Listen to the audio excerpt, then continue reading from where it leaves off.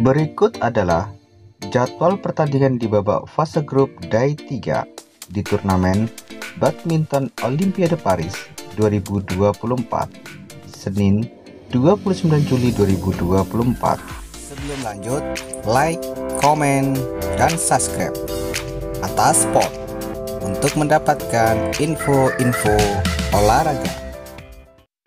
Jadwal pertandingan untuk wakil Indonesia di sektor ganda campuran di grup A, Rino Rivaldi Pita Haningtyas Mentari akan menghadapi pasangan Prancis, Tom Gikwal Delpine Dulrui, bertanding sekitar pukul 15.10 waktu Indonesia Barat di lapangan 3. Jadwal berikutnya di sektor ganda putra.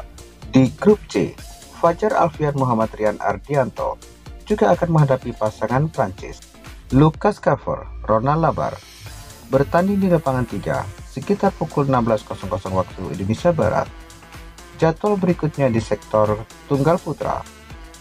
Di grup L, Jonathan Christie akan menghadapi tunggal putra Guatemala. Cardot bertanding sekitar pukul 19.00 waktu Indonesia Barat.